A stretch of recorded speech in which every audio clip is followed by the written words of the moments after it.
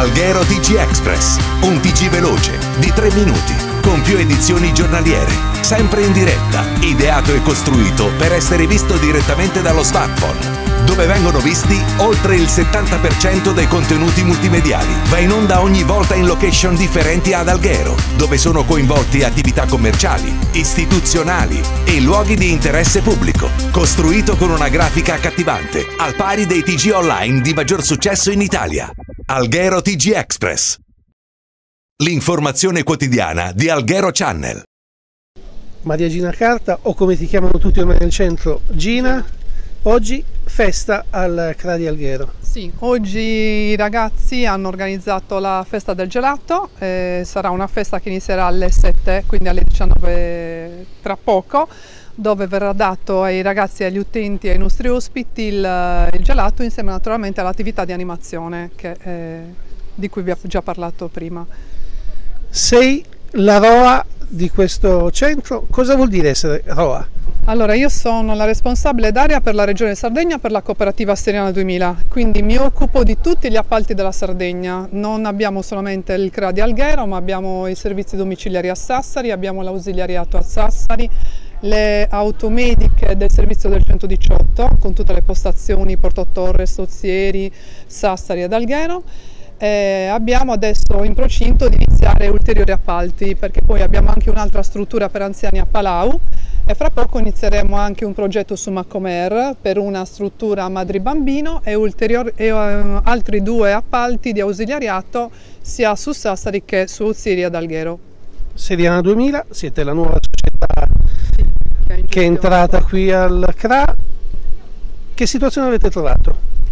Allora, come in ogni cambio di gestione, naturalmente ci sono oh, sempre delle piccole criticità che naturalmente si affrontano mano a mano e si cerca di, eh, di risolvere al meglio, soprattutto in collaborazione con l'ente locale, che in questo caso è il comune di Alghero, che, con cui stiamo e abbiamo iniziato una buonissima collaborazione.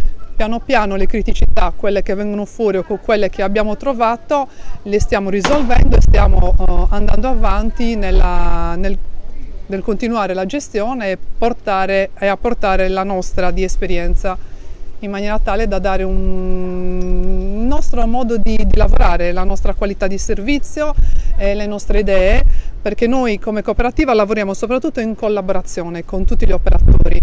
Facciamo un lavoro che deve essere improntato soprattutto sul principio di collaborazione e di rispetto con gli operatori in primis perché se gli operatori lavorano sereni e tranquilli il risultato lo otteniamo poi sugli ospiti.